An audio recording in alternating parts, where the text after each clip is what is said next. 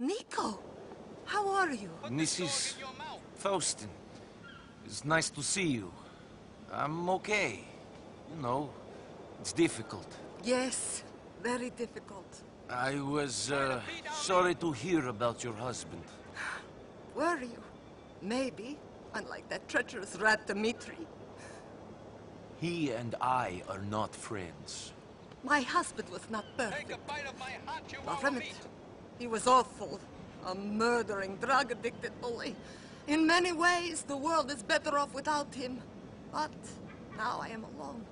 I'm uh, sorry about that. And my daughter grows up without a father. She's learning a bitter lesson very early. Yes, it's bad. Bite this plump And now the money is gone, the house got repossessed, and we are living in a one-room apartment. The land of opportunity. I'd rather be back in Russia. At least there, people don't pretend life has any pleasure. Do you need money? I need more than that. I need someone to come and get the man to leave my daughter alone. I can see he is a slime ball.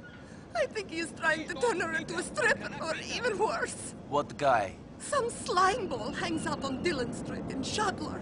I can't do much for you. But I will get this slimeball to leave your daughter alone. Niko, thank you. But please, no more killing.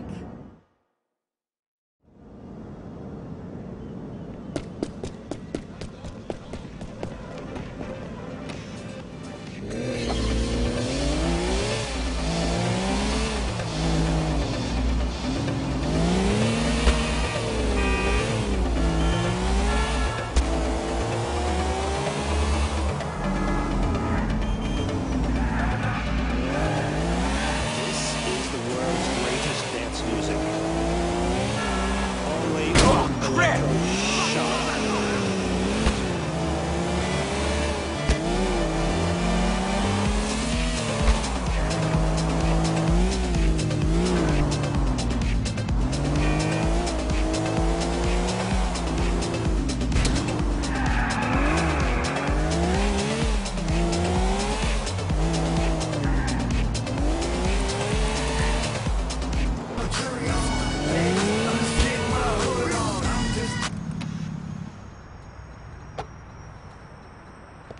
Slime ball!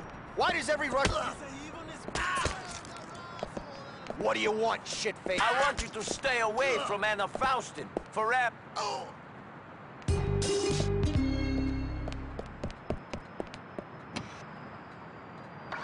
You